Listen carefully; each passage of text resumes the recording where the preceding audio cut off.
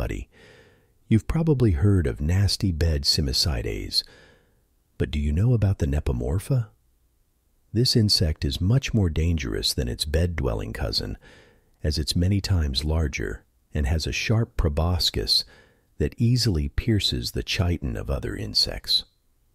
For humans, this bug is also dangerous, as its bites are very painful and can cause allergies. So next time you go swimming, be careful.